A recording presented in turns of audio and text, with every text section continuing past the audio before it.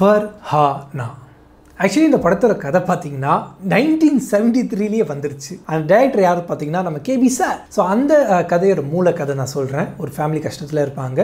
ஒரு பொண்ணு வேலைக்கு போய் காப்பாற்றுவாங்க அது என்ன வேலை? அதுதான் ஒரு பெரிய கொஸ்டின் மார்க் அரங்கேற்றம் படத்தில் பார்த்தீங்கன்னா ஒரு செய்யக்கூடாத வேலையை வந்து அந்த பொண்ணு வந்து செய்வாங்க.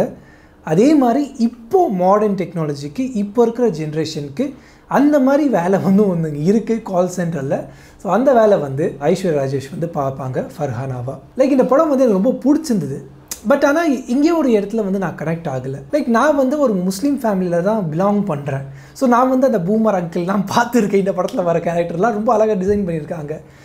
எங்கே எந்த இடத்துல வந்து நான் கனெக்ட் ஆகலைன்னு பார்த்தீங்கன்னா ட்ரைலரில் வந்து ஐஸ்வர்யா ராஜேஷ் அடி வாங்குற மாதிரி ஷாட் இருக்குது அவங்க மூஞ்சில் துப்புற மாதிரி ஷாட் இருக்குது வீட்டில் அந்த விஷயம் தெரிஞ்சிரும்னு சொல்லி ட்ரைலரில் வந்து ஒரு மாதிரி சொல்லியிருப்பாங்க. பட் அதுவே வந்து படத்தில் பார்த்தீங்கன்னா அவங்க வந்து மாட்டிப்பாங்களோ மாட்டிப்பாங்களோன்னு சொல்லி ஒரு பதட்டம் இருக்குது பார்த்தீங்களா ஒரு க்யூராசிட்டி சி க்யூராசிட்டி ஸோ அந்த கியூராசிட்டி வந்து படம் ஃபுல்லாக ட்ராவல் ஆகுது. பட் அவங்க வந்து மாட்டவே மாட்டேங்கிறாங்க. எப்போ பார்த்தாலும் தப்பிச்சிட்டே இருக்காங்க.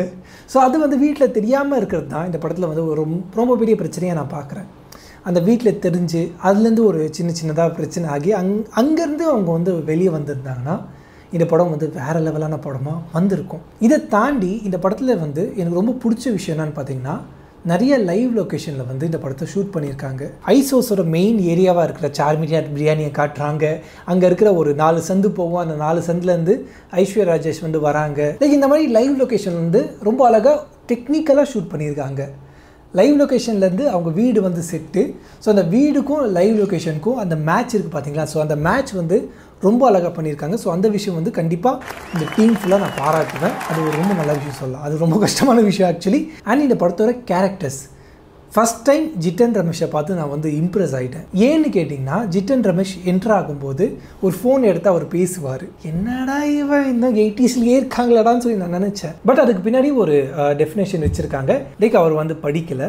படிக்காமல் வந்து சின்ன வயசுலேருந்து செருப்பு கடையில் இருந்து இருந்து எதுவுமே தெரியாமல் இருக்கார். ஸோ அதனால தான் அவர் வந்து அப்படி இருக்காருன்னு சொல்லி அதுக்கு ஒரு எக்ஸ்ப்ளனேஷன் படத்தில் கொடுத்துருந்தாங்க. உண்மையிலேயே எனக்கு அது பிடிச்சிருந்தது. அண்ட் மோர் ஓவர் அந்த கேரக்டரை ஹேண்டில் பண்ண ஜித்தின் ரமேஷ். அவ்வளோ சூப்பராக இந்த கேரக்டரை வந்து அவர் ஹேண்டில் பண்ணியிருந்தார். எனக்கு அவரோட ஆக்டிங் இந்த படத்தில் ரொம்ப பிடிச்சிருந்தது. இதுவும் முதல் வாட்டி நான் சொல்கிறேன் சரி ஓகேங்க. இதுக்கு அடுத்தது ஒரு மெயின் கேரக்டர் பூமன் அங்கிள் இவர் கேரக்டர் வந்து ரொம்ப ரியலிஸ்டிக்காக இருக்குது நல்லா இருக்குது பட் எயிட்டிஸ் நைன்டிஸில் வர மாதிரி இருக்குது லைக் அவர் வந்து கொஞ்சம் வயசான ஆள் மாதிரி தான் காட்டுறாங்க. ஸோ அந்த ஆளை காட்டும்போது கொஞ்சம் கோவம் வருது. லைக் ஒரு ரியல் லைஃப்பில் ஒரு பெரியவர் முஸ்லீமில் இருந்தால் எப்படி இருப்பாங்க? லைக் பொண்ணுங்களாம் வெளியே போகக்கூடாது வேலைக்கு போகக்கூடாது கடன் வாங்கக்கூடாது அது இதுன்னு சொல்லி நிறைய விஷயம் வந்து சிரிக்கக்கூடாது. வீட்டில் சத்தம் போட்டு சிரிக்கக்கூடாது.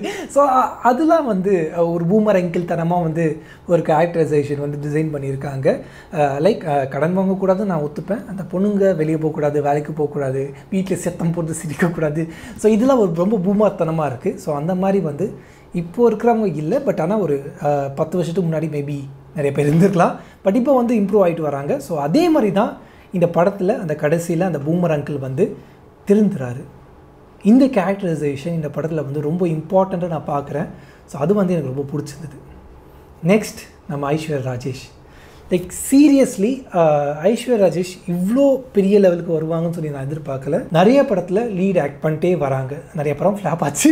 அது வேற விஷயம். பட் இருந்தாலும் அவங்க மேலே என்னால் வந்து குறை சொல்ல முடியல. அவங்களோட கேரக்டரைசேஷனாக இருக்கட்டும் அவங்க கேரக்டரை ஹேண்டில் பண்ணுற விதமாக இருக்கட்டும் ஒரு முஸ்லீம் கேர்ளாகவே வந்து இந்த படத்தில் வந்து அவங்க வாழ்ந்துருக்காங்க. அண்ட் இந்த படத்தில் சோலாக இருக்கிற Selvaraghavan sir so Farhana character வந்து கால் சென்டரில் ஃப்ரெண்ட்ஷிப்பாக வந்து பேசுவாங்க.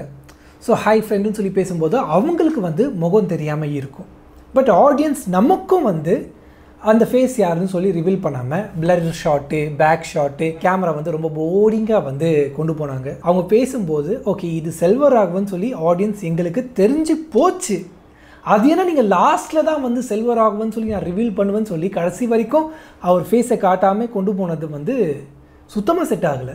நீங்கள் வந்து ஃபர்ஹானா கூட அந்த லீடு ஆடியன்ஸ் ட்ராவல் பண்ணுன்னு சொல்லி நீங்கள் நினச்சி இந்த கேரக்டர் டிசைன் பண்ணியிருக்கீங்கன்னு சொல்லி எங்களுக்கு புரியுது.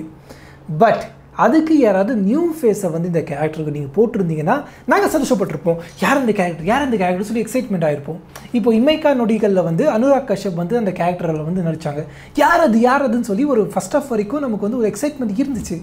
ஏன்னா ஒரு ஒரு நியூ ஆக்டர் ஸோ அந்த மாதிரி யாராவது ஒரு ஹிந்தியில் இருக்கிறவங்களோ இல்லை தெலுங்கில் இருக்கிறவங்களோ தூக்கி இந்த கேரக்டர் நீங்கள் போட்டிருந்தீங்கன்னா அது வந்து இன்னும் க்ரிப்பாக இன்னும் என்கேஜ்மெண்ட்டாக போயிருக்கும். ஓவரால் படம் பார்த்திங்கன்னா டெக்னிக்கல் வைஸாக ஆக்டிங் வைஸாக ரொம்பவே ஸ்ட்ராங்காக இருக்குது ஸ்டோரி வைஸாக ஸ்க்ரீன் ப்ளே வைஸாக கொஞ்சம் வீக்காக இருக்குது ஸோ அது மட்டும் கொஞ்சம் ஸ்ட்ராங்காக பண்ணியிருந்தாங்கன்னா இன்னும் இந்த படம் வந்து சூப்பராக வந்திருக்கும்.